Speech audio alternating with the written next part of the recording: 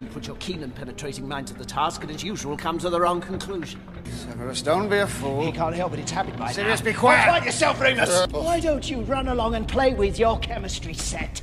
Sorry about the bite. I reckon that twinges a bit. A bit? A bit? Normally, I have a very sweet disposition as a dog.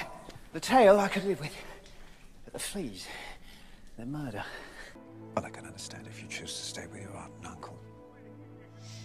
But if Harry Potter. Voldemort may be after something. Sirius.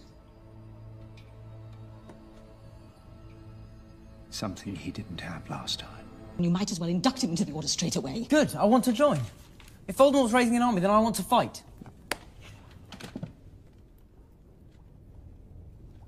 Padfoot, are you barking mad? You'll blow the entire operation. What's life without a little risk? Anyway, I suppose you're the young ones now.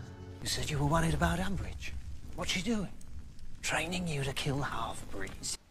Harry. Harry. Harry? Oh, that is delicious. Well, Daddy, don't forget Baptisms. My mother did that after I ran away. When all this is over, we'll be a proper family.